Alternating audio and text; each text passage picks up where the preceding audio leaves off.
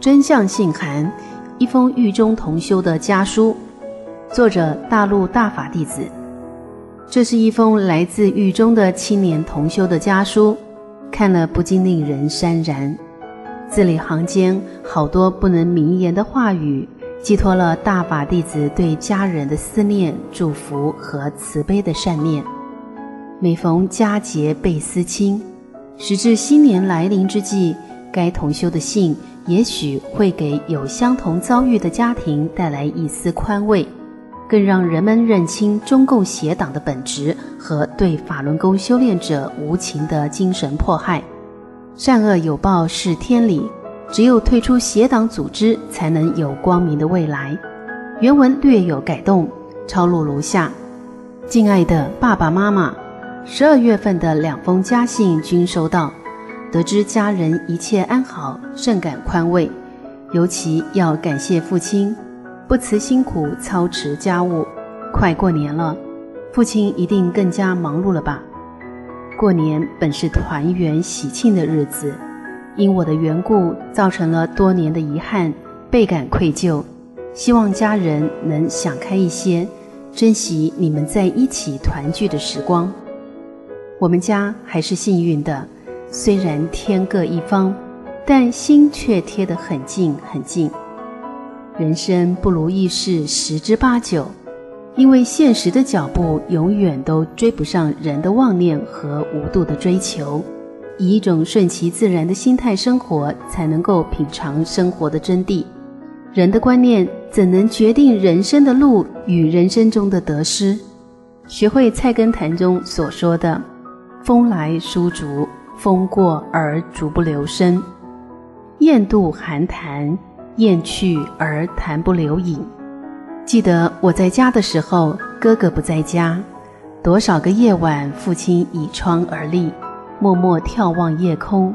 其实我也没有入睡，在黑暗中注视着父亲心酸孤独的背影。哥哥成了家人心中不能碰触的伤口，不敢提及。怕撕裂伤口的痛，表面上若无其事，心里就是放不下。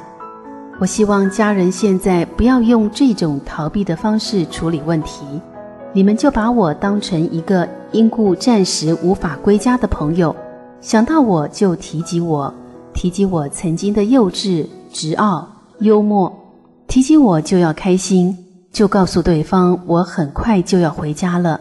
只是暂时在外面小住一会儿，不要想到我就认为我在无边的黑暗中吃苦受罪，不要用根本就不存在的问题折磨你们那备受煎熬、脆弱的心灵。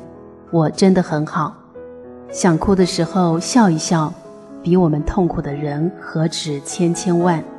比起那些在病榻上痛苦无助呻吟的人，我们拥有健康的体魄。比起那些挥霍生命、找不到人生航向的人，我们有充实的灵魂；比起那些夭折的孩子，父母把我养得健健康康，活过了而立之年。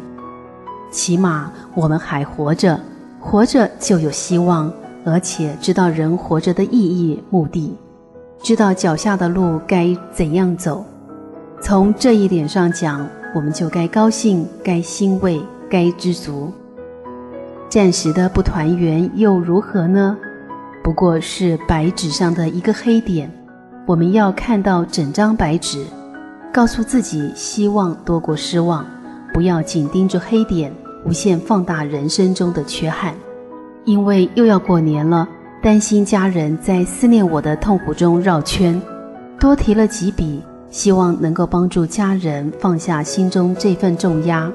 另外，遇到问题时，一定要站在对方的角度考虑问题。这个角度包括充分体会对方的性格、生活背景和思维模式，以及处事方式等。万万不可固执己见，指责对方。我还是那句话：这个世界不缺少妄图改变别人的人，这个世界缺少用心去关爱、理解他人。用自己高尚的德性影响他人的人，你们一定要敞开心扉的多进行有效的沟通，真正的体谅理解他人，这是一种善。希望我亲爱的爸爸妈妈、哥哥能够心情舒畅的过好每一时每一刻，用友善、耐心、宽恕、谦顺、礼貌、慷慨、诚实的心灵对待周围的人和事。只有这样，我们的生活才会充满七彩阳光。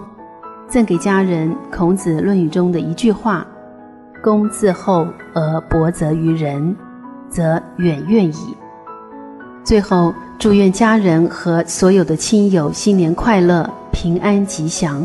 祝大家过一个快乐的虎年，在新的一年里有更大的收获和进步。我在远方给大家拜年了，孩儿敬上。